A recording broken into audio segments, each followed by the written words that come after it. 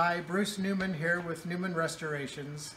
Today we are rebuilding some simplex pneumatics that had been previously rebuilt by a hobbyist and um, he made a few pretty common mistakes and complained that the um, piano could not play because there was too much leakage in the chest and he was pretty sure it had to do with the valves. So I've got them disassembled here and let's take a look at you know what the cause of the problem was or um, problems. So I've scraped the glue off from the upper valve seat so I could remove it. I just gently insert a small knife blade and then pull outward rather than directly up to loosen it. And you'll notice a couple of things. First of all, a neoprene valve material, which I never ever recommend. It's a very unsuitable material for valves. You'll also notice that the valve is rubbing against the sidewall of the chamber there. So a couple of things happened. First of all, too large of a disc was used, so the, the valve itself is too large in diameter. On top of that, an even larger diameter neoprene outer valve was used, which hangs over, creating a bit of a lip. And we have a situation where the cross valve stem is glued off center a little bit, creating this um, error upon error upon error uh, addition, which gives you enough problem, enough uh, disalignment, so that now you've got valves hanging up and not seating, uh, allowing a lot of excessive leakage. Uh, another problem with this, I tested several of them. The valve gap is only 15 thousandths of an inch really should be uh, at least 32 thousandths uh, for these to operate with any speed at all. Um, let me uh, pry open a couple of pneumatics here. Now, Simplex originally did not use a hinge on their pneumatics. That was a decision they made as a company. I don't particularly like that decision. You can see how you end up with this kind of thing. Often they don't align properly when they shut because of stresses in the fabric. Um, so I certainly agree with Art Reblitz and his recommendation in his Rebuilding the Player Piano book that hinges be installed. So let me just pop this guy open here. Years ago, when Player Piano Company was still in existence, um, Durrell Armstrong, unfortunately, sold what he considered to be a hinge replacement, which was a round disc of cloth with some type of um, self-stick adhesive on it. And that's exactly what we have here. You can see how well that works. Not well at all. They just don't stick. So what we'll be doing uh, to these simplex pneumatics and valves is rehinging them. I'll have to sand some of the shellac off down to the wood so that I get a good bond. We'll be installing new valves of the proper thickness and the proper 5 8 inch diameter um, and then properly gapping them so that we get um, you know valves that that are working as they should. I'll point out one additional thing before I move on here, another fairly common mistake with Simplex, and that is uh, the hobbyist that rebuilt these um, overlapped the cloth on the hinge end here when he glued the pneumatics. Now that's what you normally do for most types of player pianos, but with Simplex, since they are gasketed onto a board, um, this end has to be perfectly flat, otherwise the pneumatic can skew a little bit from side to side if it's uneven. And so you can see right here, not all of the old cloth was um, sanded off, and that gives us some telltale signs about how uh, Simplex originally covered their pneumatics. It appears to me that they uh, glued the cloth on the back first to create the hinge. Then they gapped it and had a little like quarter inch piece of fabric that they folded over on the side. Then they would have glued the side and front with the, you know, whatever they were using to gap it in place. And then the last um, operation would be to glue the, the piece onto this side here. So it's a little different sequence of events, but the, the uh, end result is the seam is here on the side, not on the back where it will interfere with the seating of the pneumatic onto the chest. So that's the job in store for us on this project. So we are at a point here where we're um, cracking the unit valves open to get at the pouches, but I just want to point out that um, all the sides have been carefully sanded just to get off the old uh, pneumatic cloth and glue. Pay special attention when you're sanding this end part, the part that gets gasketed and screwed. Uh, you just barely want to take off uh, the material because uh, if you get it crooked, then it will sit askew uh, when it's in the piano on the stack, and that can cause some problems. So you just take off the minimal amount. I use a 150 grit belt on my um, sander, and that seems to do the trick pretty well. Uh, you'll notice with the sides cleaned up, you can definitely see the glue joint here between the two wedge-shaped pieces. This bottom part is what holds the pouch. You can see the wooden dowels that have been drilled in sideways so that the screws aren't biting into end grain, they're biting into the side grain of the two dowels. So that was certainly uh, wise of Simplex to do it that way. Uh, so we're ready to go ahead and start cracking these guys open to get at the pouches. Lay your knife right on that seam at just an ever slight angle so that you're coming in slightly from the corner. Just give it a couple of taps and then you'll hear it pop. In fact, this one popped all the way across, so I won't even need to tap the other side. Just wedge your knife in there. And then gently push down.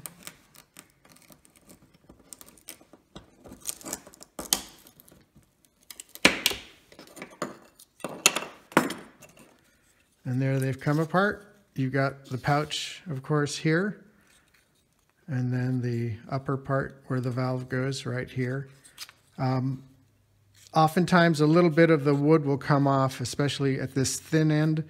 Don't worry about it. You'll have sometimes large pieces that stay glued on. The most important areas that need to be sealed are above this hole. So even if you have chunks of um, you know, the, the pouch block that end up remaining glued on here, it's not going to hurt a thing. Um, let's pull this pouch out here.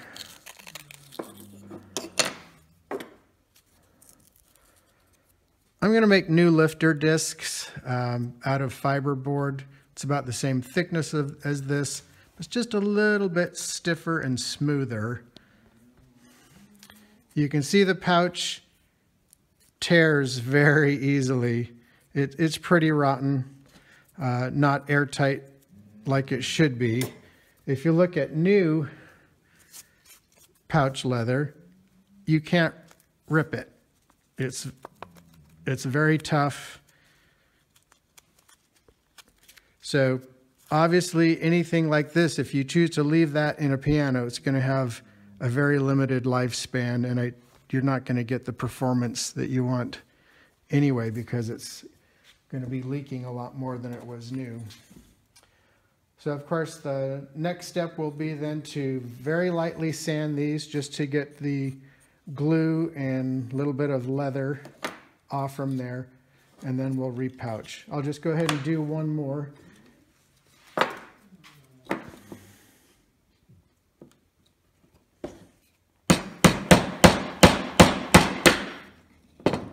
Once again, you can feel it pop.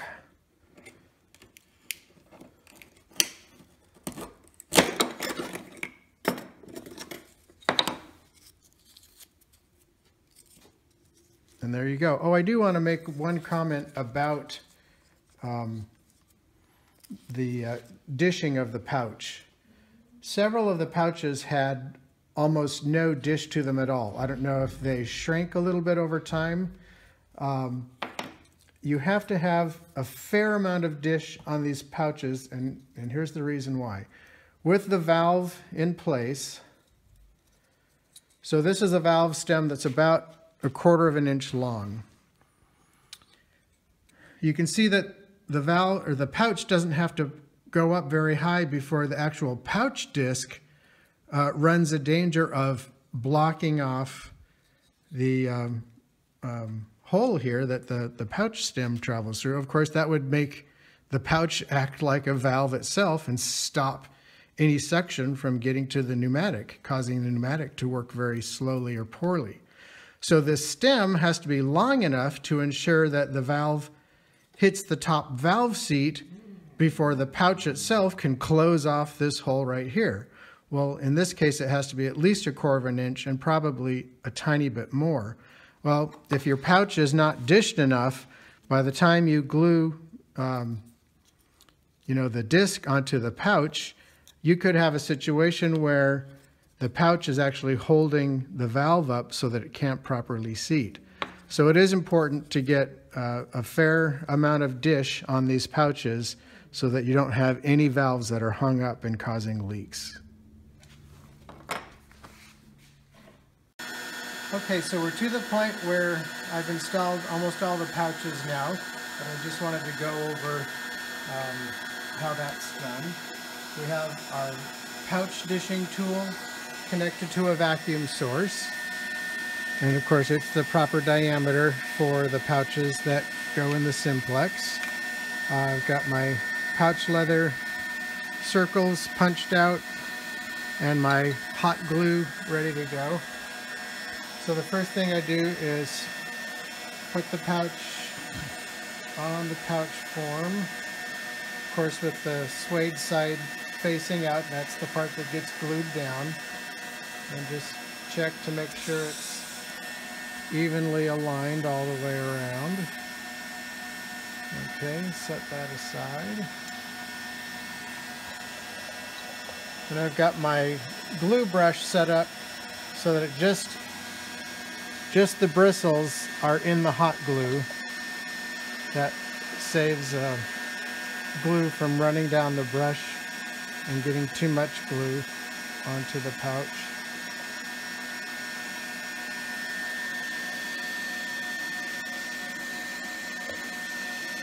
I just run my finger in there to make sure I don't have any glue on the edges.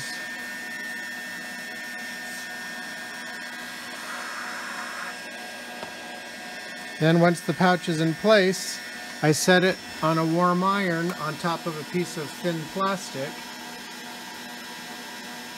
That flattens the pouch out. It also melts the hot glue further, causing it to soak into the pouch leather and the wood for a really good bond. Something around 10 seconds or less is all you need.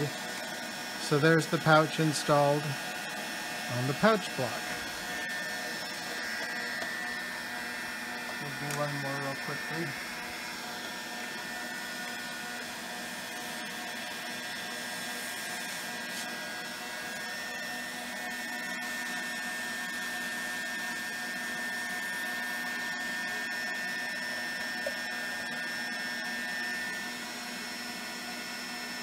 I've just taken a regular artist brush and clipped the bristles short to make a good brush for hot glue.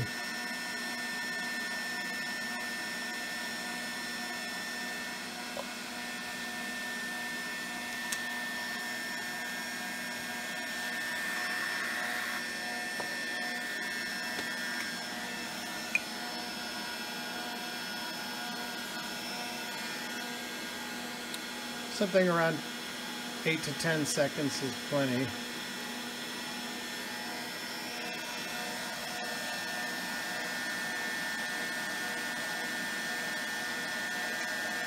And there we've got a pouch.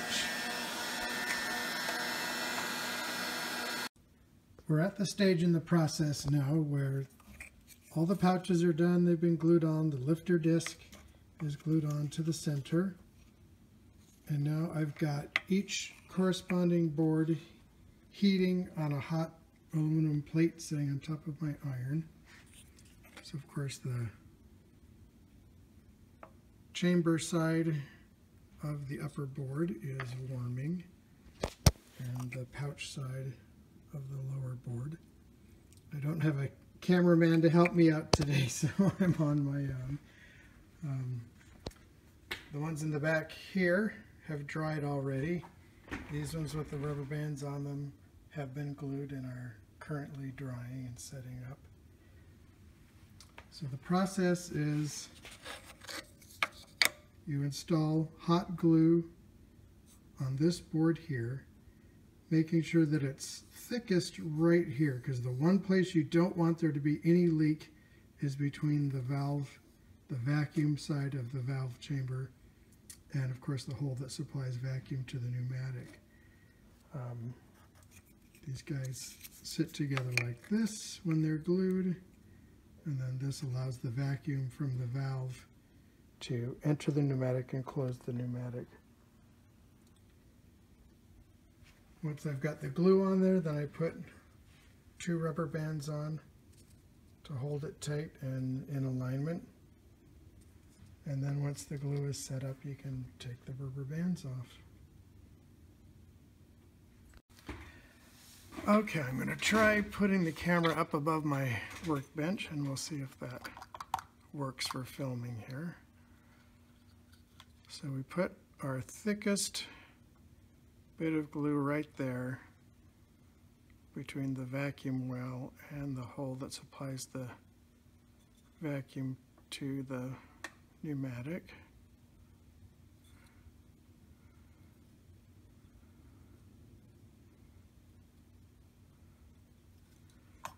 Then grab the pouch board,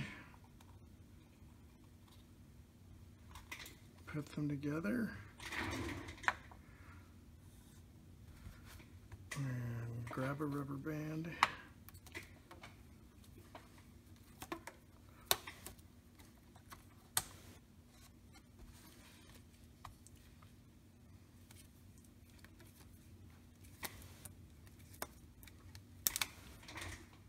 And make sure everything's perfectly aligned. Put it back on the glass and press down to make sure it's perfectly aligned on the back here. I'll do another one.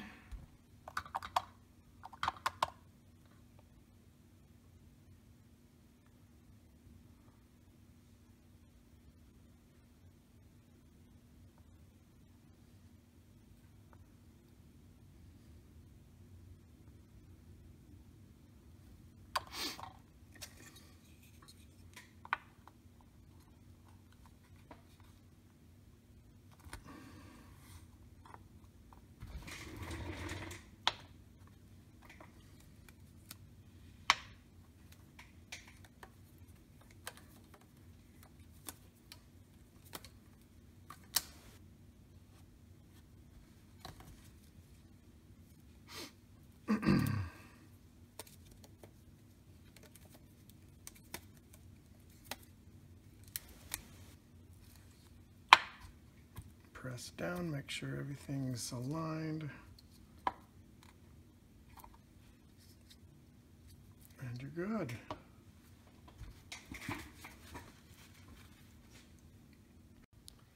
We're ready to hinge the pneumatics now. I just wanted to point out, now that the glue is dry, you see you've got a nice joint there on both sides. I just ever so lightly touch this up with sandpaper to make sure that we had a, a nice clean edge to do our gluing on. One thing I really like about hot glue is as it dries it and the moisture goes out of it, it actually sort of shrinks and makes an even tighter bond. And you can see that um, There's just no gap there at all. And any small gaps remain filled by the glue because it doesn't, you know, completely shrink away and leave any air voids. So it really is, not only is it the traditional and proper glue to use, it's just an amazing glue. I can't speak highly enough about it. I really enjoy working with it. Okay, so the first step is install the glue. Use a fairly thick coat because you want that glue to soak into and permeate the cotton tape. Center it and press just for a couple seconds to get that glue melted. And then carefully lift up and fold and that plastic will come right up with the cotton tape because it's soaked through with the hot glue and put a rubber band on it and just double check your alignment so that it's exactly where it should be and that's ready to go. I'll do one more quickly.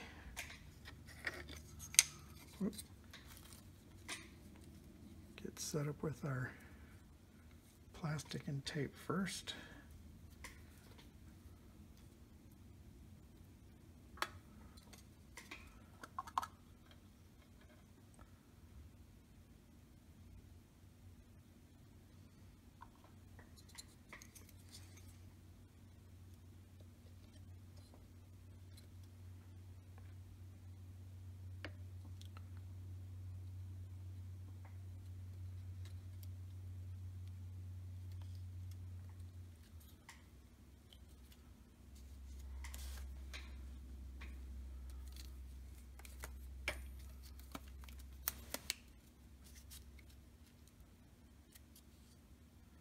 And once that's dry, you'll have a perfectly aligned, very strong hinge.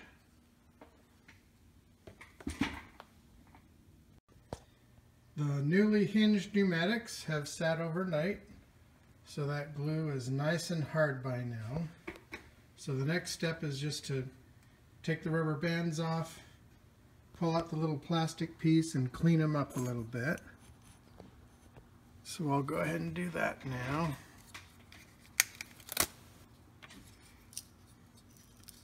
You can see how that plastic comes right out, doesn't stick to the glue at all. And of course it has prevented the hinge from sticking to itself right here while the glue's dried. There's usually a little bit of hard glue on each side that has squeezed out during the hinging process. So I just take a file and knock that out. And then sometimes there's just a little bit on the leaves of the pneumatics. And then just a quick cleanup of the bottom. This part right here gets re-shellacked. This is the underside of the pouch well. So we want to make sure that's completely sealed so there's no leakage at all between the pouch well and either the atmosphere or vacuum that is in the pneumatic, depending on whether it's on or off. But once that is uh, shellacked, then these are ready to recover. Okay, so we're to the point where we're ready to cut out the pneumatic cloth to cover the pneumatics. Now normally, once you determine what the span is, you simply measure across the open end of the pneumatic to determine how wide you should rip your cloth. In this case would be about an inch and three eighths. However, because of the geometry of the simplex pneumatic, you've got this extra wood over here that has to be covered by pneumatic cloth. Obviously, it's really important on this side so that this chamber is covered and made airtight. So you have to add a little bit. I added a half inch, that was generous, um, but it gave me plenty to, to trim later on. So basically in the end, these ones ended up being about two inches. So I just make marks on my cloth, two inches apart. Take the scissors and make a little snip right on the mark. Now, note that the, the length of the cloth is running this way, so I'm ripping with the long length of the fabric. If you look at this end here, this is cross. You notice it's not straight because the threads that run crosswise across uh, the fabric aren't nearly as straight as the threads that run the length of the fabric. So you get straighter tears. So just like cotton pneumatic cloth, oh by the way, I do want to point out this is the nylon pneumatic cloth that David Ramey sells at dcramey.com. So it just rips like the normal cotton cloth.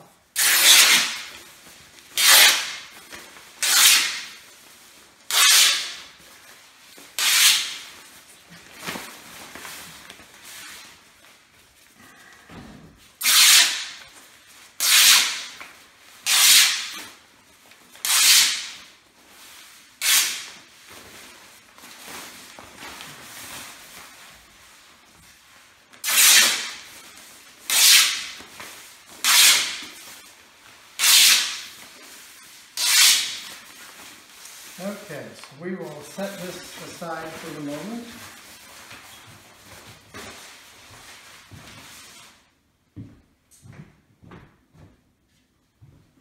So I've determined that it's going to take 10 and a half inches of cloth to go around the pneumatic, plus leave a little bit for overlap and trimming.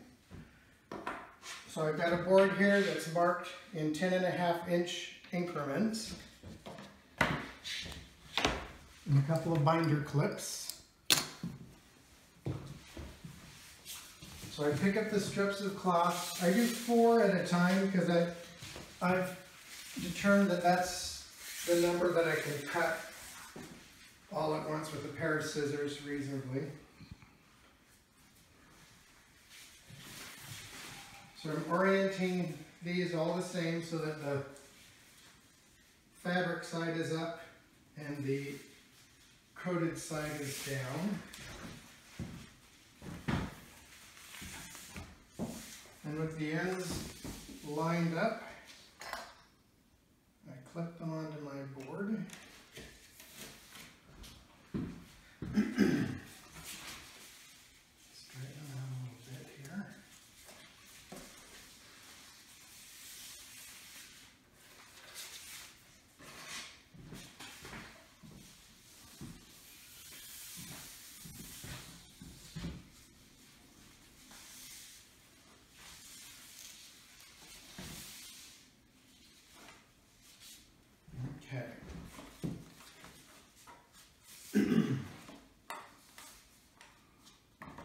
can just take my scissors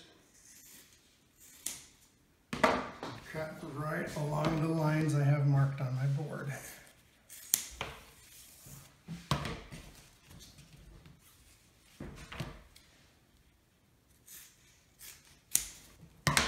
And this way I'm cutting four at a time.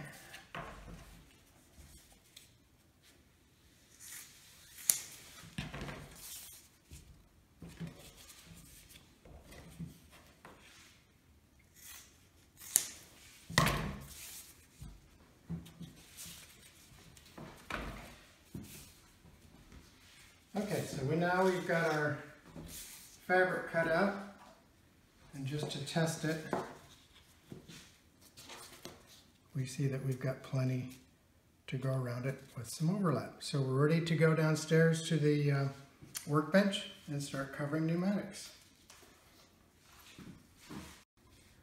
Okay, so here we are at the workbench and I have it set up for covering pneumatic or covering pneumatics. I've got a warm iron right here. Not so hot that you can't touch it for a few seconds without it um, burning you, but just warm enough to, to warm the cloth and glue. I have a square of felt with some tape on it and a couple of indicator pieces of tape here. So what all this is set up to do is these two pieces of tape show me where to place the cloth. This strip of tape shows me where to place the edge of the pneumatic once I've got glue on it. And then that way, everything is lined up just right for when I glue it so that I have my seam right here on the edge. And we'll get into that in a little more in just a second. But let's go ahead and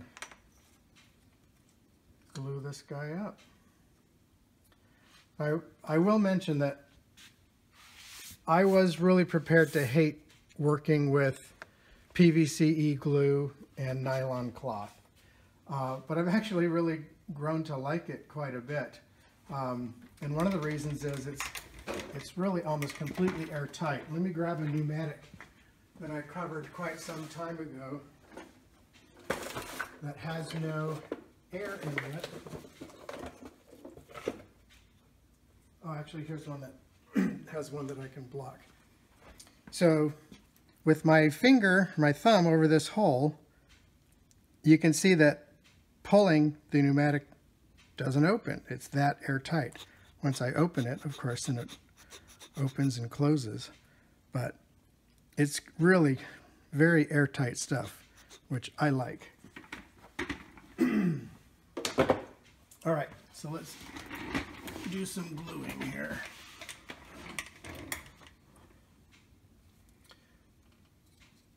So I put the tool in that gaps the pneumatic.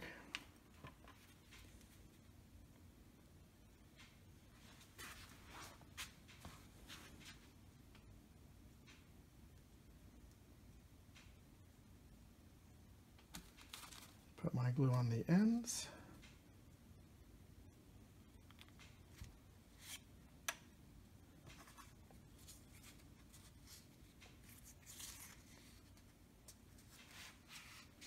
The warm iron warms the fabric, warms the glue, and just sort of makes everything ease out and work better. I can rest that on my felt here and that helps to make the a better bond.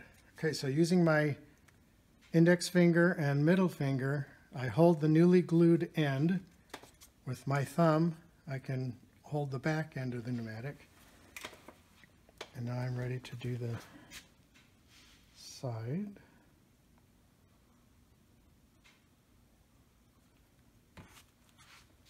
You want just enough glue to cover the wood so that it looks white.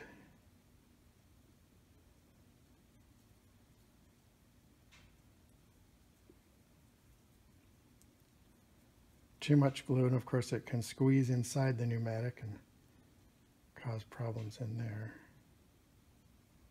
All right.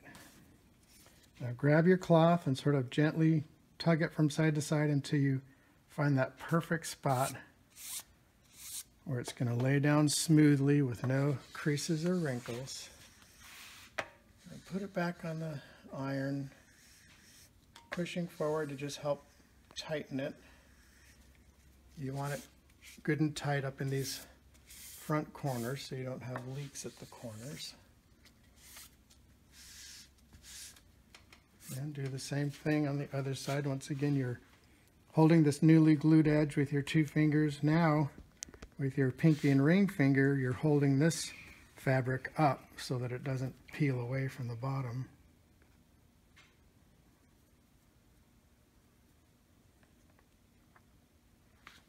Of course, it's critical to get this side airtight around that saw cut.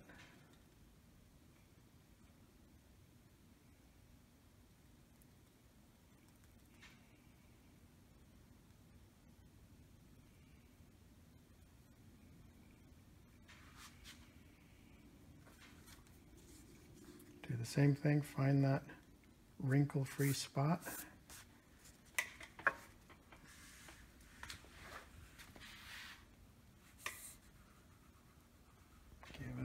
heat. The heat really helps the glue to spread out.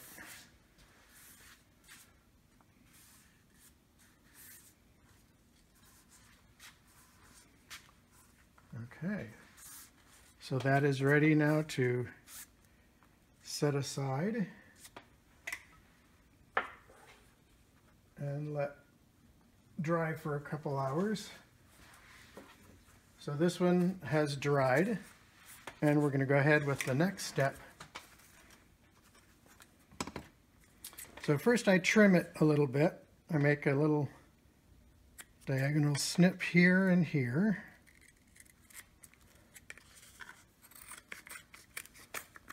And trim the top.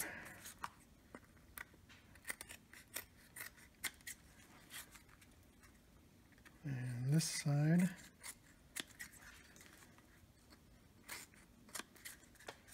And notice I'm just going to trim up to my snip and no further.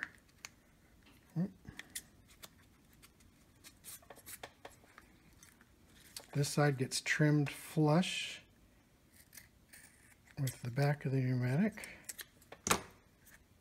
And this side gets trimmed so that you've got just about a quarter of an inch left to fold over and glue onto this side. So when you're gluing the back, you want the pneumatic to be in the closed position. So shut it and put a rubber band on it.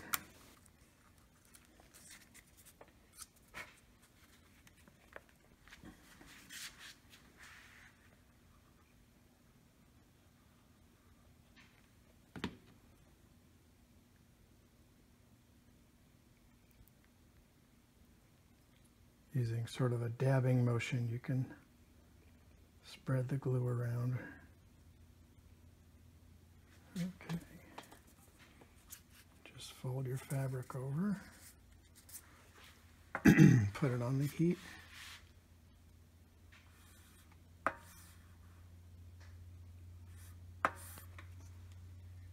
Any little bit that squeezes out on this side, rub off because you don't want a blob here that's going to cause a bump as you come around this corner later on. Okay, set that aside to dry. Here's one that's already dried, so we can go ahead and go to the next step. Remove the rubber band so you can open it up again. The movable leaf side, you want to trim at an angle like that.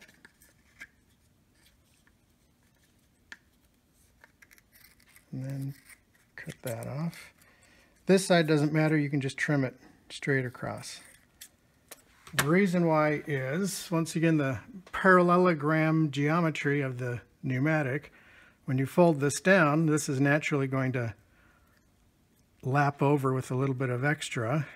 This side, though, by cutting at an angle, I've got enough to glue nicely, even though it angles this way. So to glue it, you put a bead of glue right in the corner there.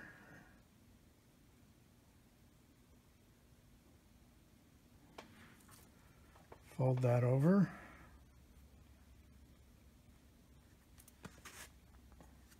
And gently squeeze out any excess glue.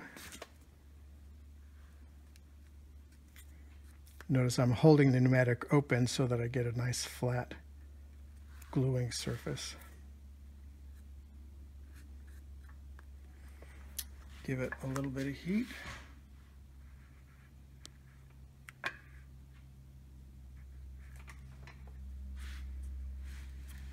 If you get a little bit of glue on your iron, that's okay. It just sort of rubs right off.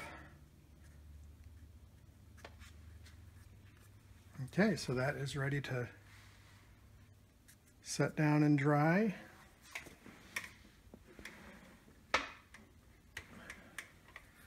And here's some that have dried, so you just have a little bit of quick trimming to do.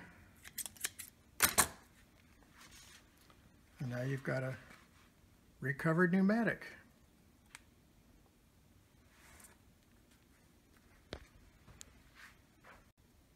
we're to the point where all the pneumatics have been recovered and trimmed. So at this point, it's time to open the holes for the screws, the vacuum supply, and for the underside of the pouch. And I discovered that one uh, additional benefit of using the nylon cloth is it melts pretty easily.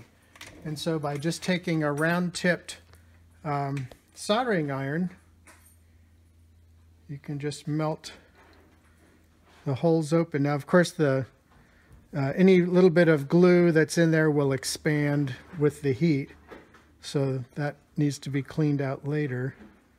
But that's pretty simple to do with a, a drill bit. And even the large square hole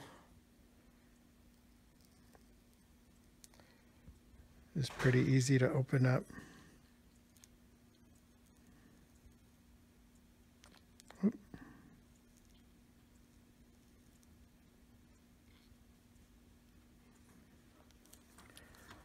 And um, the hole to the underside of the pouch with just a quick clean out with a 9 64 inch drill bit. And you've got all your holes ready to go. I'll probably take a small knife and just clean out any tiny little bits of debris that still may be um, on the inside of that hole there, but they're pretty much ready. Okay, we're in the final stretch here where we're installing the valves and gapping them. So um, I've got all these done now. There's just about five of them left to complete. So I'll go ahead and demonstrate the process involved here in uh, installing the valves. I've got discs with valve leather glued with the suede side out. That will be the top of the valve. Then of course I have discs with valve leather with the, the shiny patent side out. So that will be the lower valve that seats on the on the bottom valve seat. So the, of course, and I've got the uh, upper valve seat that I have um, finished and, and flattened on emery cloth on a piece of glass. So that's ready to go. I selected the fiber washers and the leather so that when everything's together, it's a little bit thinner than the, uh, the valve should be for the appropriate valve gap. And that way I can adjust the valve gap using various thicknesses of uh, paper. So I have 10 thousandths, 5 thousandths, and 4 thousandths that I can use to glue in between the two uh, valve discs here to change the spacing. So first thing I do is just take a little piece of emery cloth that's glued onto an old valve and just make sure that bottom valve seat is perfectly smooth and that there aren't any problems or bits of glue on it. Then I put the bottom seat in and with this tube connected to the pouch well I can just make sure I've got clearance between the valve stem and the pouch lifter disc. Then I set the top of the valve in, put the valve seat in, and then with my gauge, with the plunger touching the valve,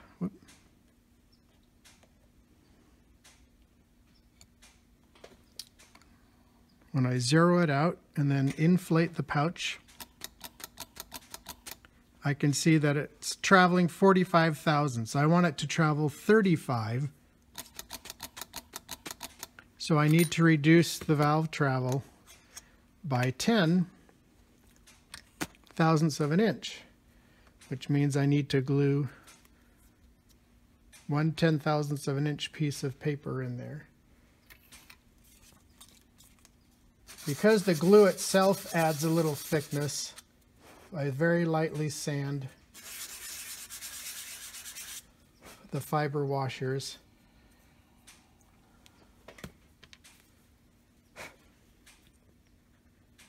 It doesn't take much glue at all. You just want to dab a little bit on there.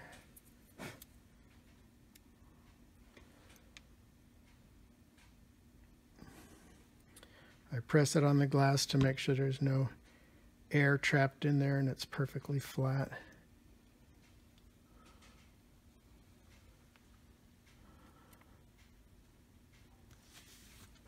Okay. Drop that back in there. And we'll do a double check to make sure we got where we wanted to be. Readjust. 35, right on. That's exactly where we want it. So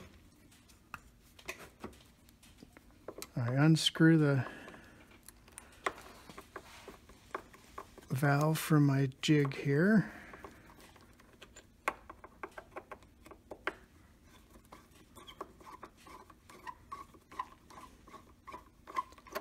And I'm just going to install a bead of PVCE. Notice I'm not gluing it down. I'm not putting glue underneath the valve seat. I'm just using it as a sealer so that when somebody needs to rebuild this in the future, all they have to do is scrape that off. Okay. So that is ready. It just needs to dry. We've got the valves installed and gapped, and so now it's time to uh, test the pneumatics really quickly. I've got it uh, attached to a little testing jig here. We've got vacuum source. There's no bleed cup built inside the individual unit valves. Those are in the chest. So here I've added a bleed cup stuck inside this line, which connects to the vacuum line. So that provides bleed to the underside of the pouch. Um, so let's go ahead and turn on the suction box. So I'm running about 15 inches of vacuum. And I've got approximately eight feet of tracker bar hose on here. So you can see the pneumatic is operating. Let's go ahead and double check our valve travel.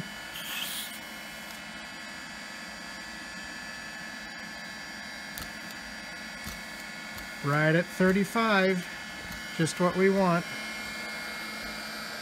Another thing you can do is test to see if you've got any leakage from the your valve, underside of the valve, by just closing off this hole.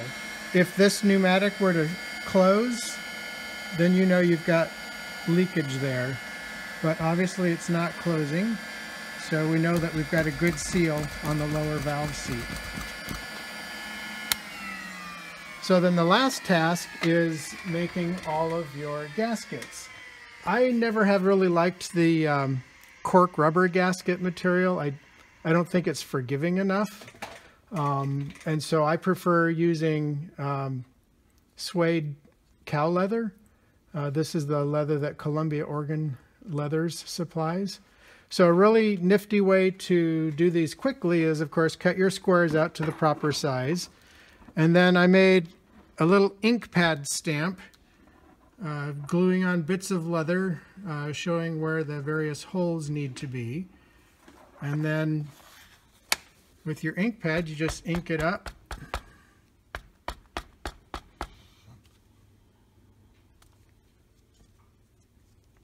And then stamp